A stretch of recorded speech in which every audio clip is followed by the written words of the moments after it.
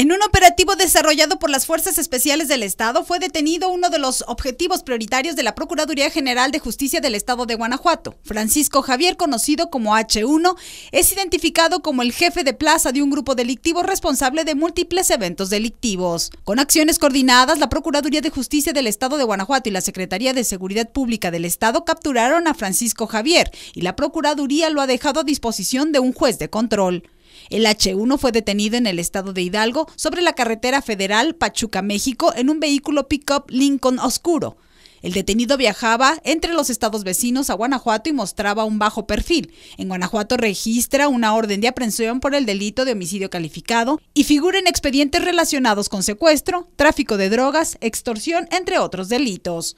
Francisco Javier N. es acusado de homicidio de un hombre al que fue a buscar a su domicilio localizado sobre la carretera Irapuato a Basolo y subieron a la fuerza en una camioneta amenazado por el grupo de hombres armados que llegaron en varias unidades de motor. Los hechos quedaron registrados el 20 de enero del 2017 y al día siguiente el ofendido fue localizado sin vida en un camino vecinal con señales de tortura y lesiones producidas por arma de fuego. Informó para Vía Noticias América Ortiz.